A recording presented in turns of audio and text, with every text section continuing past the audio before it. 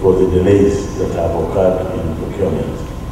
Because in most cases, it's not the process itself that has been responsible, but the either inability or incapacity of the entities that have been the cause. Speaking at the launch of the National Development Forum, Mbabazi also noted that effort is being done to improve the budget cycle for government departments to smoothen allocations and disbursements for fast projects implementation. The, plan we have of changing um, the budget cycle is not to have appropriation beginning of September. No, because then it would have changed nothing.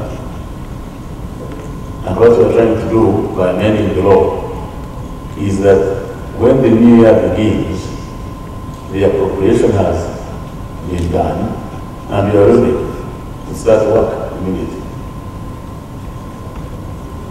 So that you don't have that three months period when we only have uh, a vote on account which is inflexible. The National Development Forum is meant to offer a platform for policy debates to support Uganda's realization of Vision 2040.